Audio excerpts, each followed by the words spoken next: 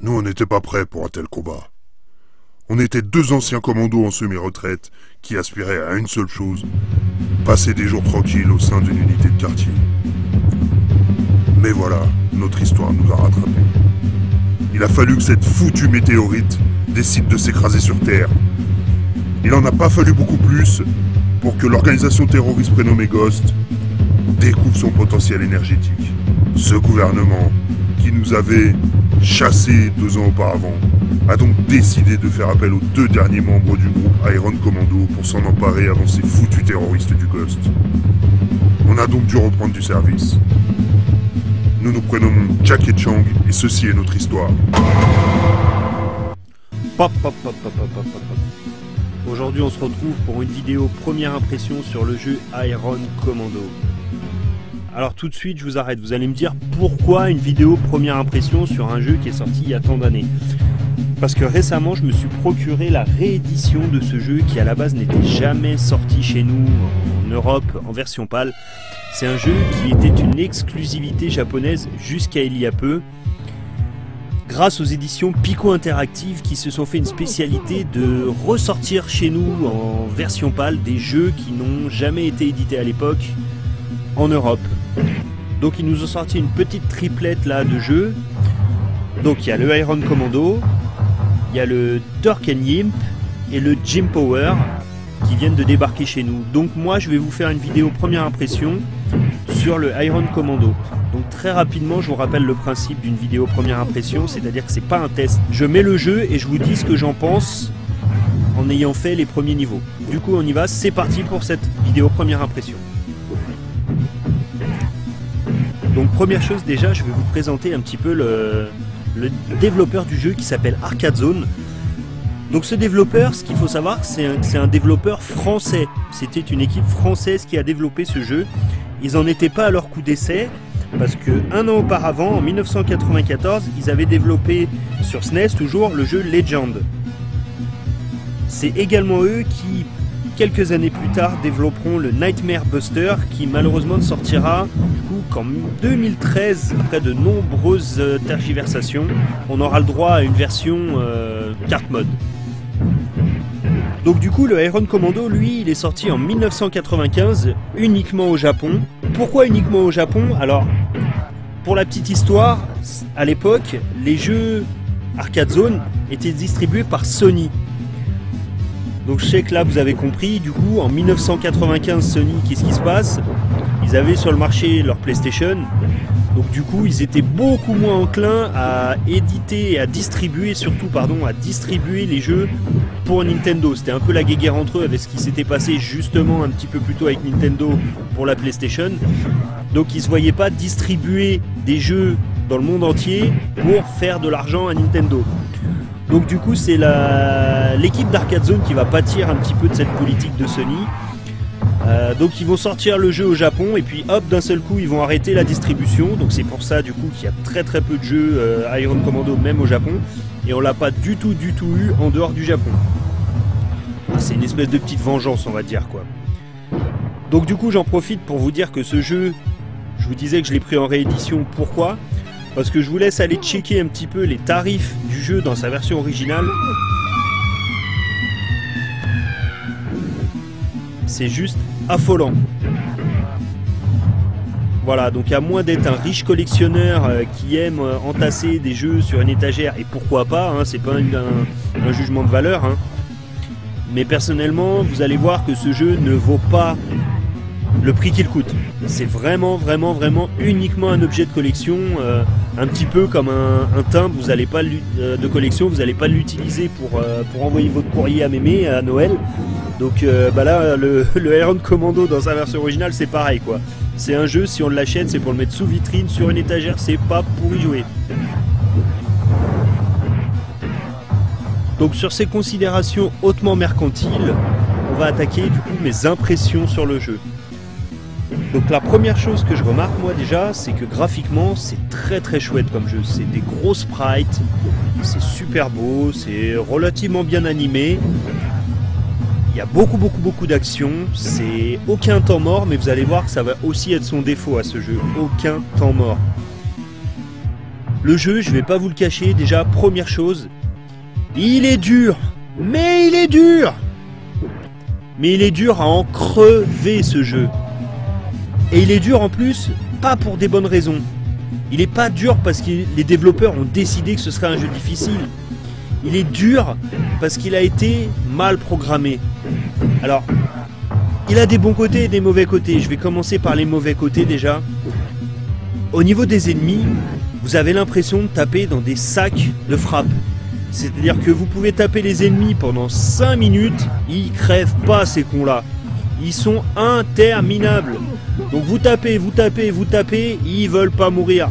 Du coup, vous avez en plus d'autres ennemis qui arrivent à l'écran et ça s'accumule, et ça s'accumule, et ça s'accumule. Et du coup, vous vous retrouvez très très vite débordé par euh, tout ce qui se passe autour de vous. En plus, euh, vous avez la possibilité, alors ça c'est plutôt un bon point, de ramasser pas mal d'armes diverses et variées. Dans le jeu, vous avez des mitraillettes, des fusils à pompe, des pistolets. À chaque fois que vous tuez un ennemi, vous ramassez son arme. Donc du coup, ça, ça pourrait être pas mal. Mais par contre, vous avez un temps de délai, notamment avec le fusil à pompe. Au moment où vous appuyez sur le bouton, vous avez une animation qui est lente, c'est-à-dire que vous allez charger le, fusil, vous allez mettre en joue, vous allez tirer. Pendant ce temps-là, vous avez trois ennemis qui sont arrivés par derrière, qui vous ont, qui vous ont suriné. C'est horrible, c'est horrible de difficulté. Vous avez des ennemis, comme vous voyez là à l'écran, par exemple les chiens, qui sont hyper durs à attraper à main nue. Alors en gros, vous pouvez pas les taper, c'est-à-dire qu'il faut les attraper et les tabasser. Mais pour les attraper, bonjour, parce que pendant ce temps-là, vous avez déjà trois ennemis qui ont fait le tour de vous et qui vous ont attrapé par derrière. C'est-à-dire que dans un beat'em up normal, les ennemis arrivent de face et à moins de jouer en mode hard, ils vont pas vous, vous encercler et vous attaquer par derrière. Là, même en mode facile, je vous assure que j'ai essayé le jeu en mode facile, même en mode facile, non seulement ils veulent pas crever, mais en plus ils arrivent, ils vous encerclent. Et le temps que vous arriviez à en tabasser un et l'éjecter, vous en avez deux qui sont arrivés par derrière, qui vous ont suriné, qui vous ont tapé dessus. Pour faire les deux premiers niveaux, j'ai pas calculé combien de fois je suis mort, mais je peux vous assurer que je suis mort, mais des dizaines et des dizaines de fois. Ce jeu est vraiment, vraiment difficile. Ils ont vraiment, vraiment abusé sur le niveau de difficulté. Là, je vous laisse écouter par contre. Petit détail plutôt sympa. Au niveau des musiques, vous avez reconnu Je vous rappelle que c'est une équipe de développeurs français qui a fait le jeu. Hein.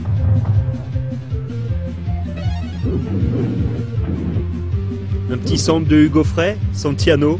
Je trouve ça super rigolo qu'ils aient récupéré des musiques typiquement françaises pour mettre dans le jeu. Ça, du coup, c'est un petit détail sympa. Moi, ça me fait délirer en fait. Donc je vous disais, le jeu est dur à en crever. Euh, vous pouvez rester parfois, sans mentir, hein, pendant 5 minutes. Donc du coup là j'ai coupé hein, parce que c'était vraiment trop long, mais pendant 5 minutes sur un même tableau à tabasser les mêmes ennemis. Je peux vous assurer qu'au bout d'un moment à la longue c'est fatigant. On a l'impression de ne pas avancer des fois dans ce jeu là. Alors ok par contre au niveau des coups c'est super varié, hein. là il n'y a vraiment pas à dire, vous avez une palette de coups qui est relativement bien, vous pouvez choper les ennemis, vous pouvez les, attraper, les, soulever, leur taper dessus, vous pouvez les prendre, les balancer, vous avez une palette de coups remarquable, on peut aussi apprécier le fait d'avoir des armes variées comme je vous disais juste avant. Euh, en plus vous en avez beaucoup contrairement au all habituel où euh, ou quand vous chopez une arme, c'est une fois de temps en temps. Là, c'est à chaque ennemi, vous pouvez récupérer une arme. Hop, là vous avez vu les bombes. Vous avez également la possibilité de ramasser des grenades et via une manipulation de touche, vous avez la possibilité de quitter l'écran et de leur balancer des grenades. Par contre, je vous le dis tout de suite, c'est toujours dans le même registre. Hein. Les grenades, ça fait pas des masses de dégâts. Petit détail amusant dans ce jeu, vous n'avez pas de boss de fin, forcément. C'est-à-dire que vous avancez sans arrêt, il n'y a pas de fin de niveau. Tout est sur un même niveau, j'ai envie de dire. Et vous avez des fois, on va dire en milieu d'un niveau, même s'il n'y a pas de niveau, mais au sein du niveau, un boss qui va apparaître. Comme tout à l'heure, vous avez vu la voiture là, dans la ruelle. La voiture, c'était le boss. C'est-à-dire, en gros, vous devez détruire la voiture. La voiture, elle vous attaque pas. Elle, par contre, pendant que vous détruisez la voiture, vous avez les ennemis qui arrivent et qui vous tapent dessus. Donc, c'est assez difficile à gérer de devoir esquiver les ennemis et en plus détruire la voiture. Donc à la limite ça pourquoi pas, c'est plutôt original. Ça casse un petit peu les codes habituels, j'ai envie de dire ça. C'est plutôt sympa, pas forcément de boss de fin, tout sur un même plan. Ça donne un côté cinématographique au jeu quelque part en fait. Il y a aussi beaucoup beaucoup beaucoup de références aux comics, je trouve, dans ce jeu. Vous pouvez voir des fois, euh, quand vous tabassez un ennemi, des petites phrases qui apparaissent en bas de l'écran. Ça donne un petit côté BD que je trouve relativement cool.